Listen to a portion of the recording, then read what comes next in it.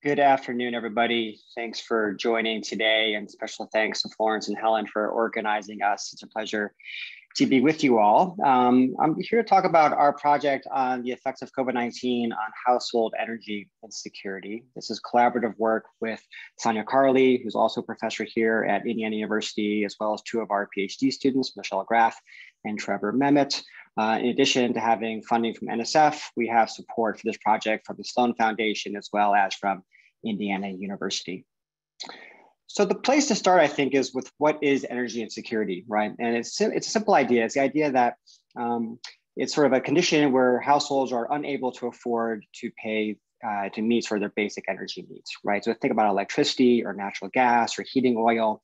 And we've come to rely on these as critical services. Think about charging our electronic devices, increasingly e-learning, right, requires access to electricity and Wi-Fi networks, keeping our food um, fresh and, and nutritious. Um, a lot of folks rely on electricity for their med- for medical needs, right? Uh, folks rely on electronic medical devices, for example. And of course, there are heating and cooling needs there's a tremendous amount of sort of growing research showing that households that are unable to meet their basic energy needs suffer from a whole set of physical and mental health effects. So it's folks who are unable to sort of meet their energy um, suffer from a, a, whole set of adverse effects, which we should be concerned about.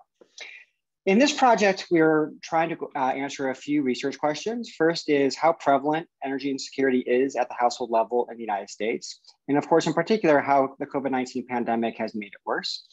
Uh, we're interested to know who suffers the most from energy insecurity, what factors lead households to be more or less energy insecure. And then finally, what are the implications for households when they do become energy insecure and how do they cope with that? So to answer these questions, what we've uh, done with this project is um, conduct a longitudinal survey of low-income households in the United States. So this is a four-way panel survey of a nationally representative sample of low-income households. And what that means um, uh, specifically are households that are at or below 200% of the federal poverty line. And to give you a sense of what that means for a family of four, those are households that are earning $26,000, uh, $26,200 or less uh, in a year. And that was as of 2020. And what we've done is conduct this uh, a panel survey where we're going to track these same households over time, over sort of a year um, during the duration of the pandemic. We sort of think about the beginning of the pandemic as when the economic disruption uh, began, right around March of, of 2020. And we're going to check in with these households periodically over the subsequent year. So the first wave of our survey was at the very end of April, beginning of May 2020, and it was of about 20, almost 2,400 households.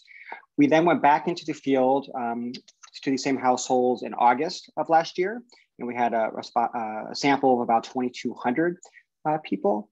We went back again for a third time in January, um, and our sample um, is still quite large. It's almost 1,700 people, and we are about to go into the field for our final wave uh, next week. Um, so we're very excited to get the fourth wave of our survey. What we're trying to do in the survey is capture people's experiences with energy insecurity, to measure it, and to identify um, how they're coping, what sort of the implications are for, for them. So what I'm gonna do today is just share with you a few set of results, mostly from the first wave of the survey. Uh, the first question we have is how prevalent energy insecurity is. And we're measuring that in three ways whether or not uh, a household could afford to pay an energy bill uh, in, in uh, at least one month or, or, all months, I should say, uh, over the course of both the past year, so the year prior to the pandemic beginning, and then in that initial month of the pandemic. Uh, a second measure is whether or not people who could not afford to pay an energy bill receive a shutoff notice from their utility. And then third, whether or not they were actually disconnected from their service.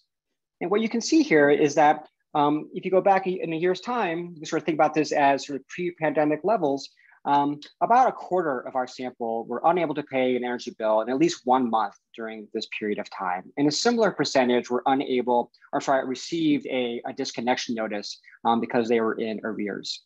About 11% of our sample actually lost their service at some point in the prior year. Now, what's interesting is you look at just the initial month of the, of the, the pandemic sort of hit, and we had the economic disruption, all the stay-at-home orders were in place, for example.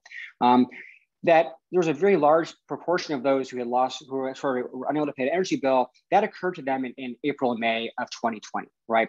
Um, so about 12, 13% of our sample were unable to pay that particular bill during April or May. Um, similarly high numbers for those who received disconnection notices and you know, about five, 6% actually had their service disconnected during that first month of the pandemic. We can sort of take these estimates from our survey and extrapolate out to the population, to give you a sense of how many people this affects. And as you can see here, we're talking about millions of households and tens of millions of individuals who are affected by energy insecurity. The next thing we do is run regression analyses to identify what are the characteristics of households that are experiencing energy insecurity across, again, these three measures.